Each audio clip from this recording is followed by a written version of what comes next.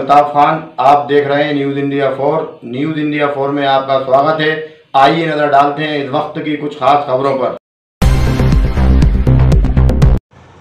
सरोंज थाना प्रभारी गिरीश दुबे ने किया नगर का भ्रमण। वाहन चालकों को समझाइश दी। वहीं थाना प्रभारी ने बैंकों के आसपास घूम रहे लोगों से पूछताछ की। बैंकों के आसपास वाले दुकानदारों को भी समझाया।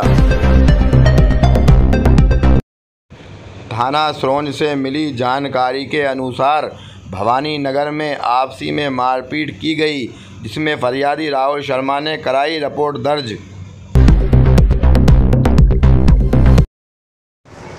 राहुल शर्मा ने रामू राठौर के विरुद्ध की रिपोर्ट तीन सौ तेईस, दो सौ चौरानवे, पाँच सौ छः के तहत पुलिस ने किया प्रकरण दर्ज।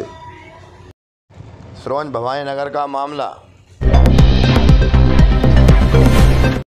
कांग्रेस कार्यकर्ताओं ने नारेबाजी करते हुए प्रदेश के गृह मंत्री का पुतला जलाया।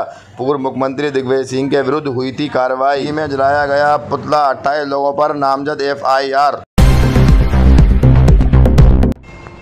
सरोज दीपना खेड़ा थाने से मिली जानकारी के अनुसार ग्राम सालपुर कला के समीप तिरुपति बस ने कार को टक्कर मारी। इसमें कार ड्राइवर समेत दूसरी सीट पर बैठा एक अन्य साथी भी घायल। बस ड्राइवर पर प्रकरण हर खबर आपके अपने मोबाइल पर देखने के लिए। ज़्यादा से ज़्यादा न्यूज़ इंडिया फोर चैनल को सब्सक्राइब करें शेयर करें एवं लाइक करें।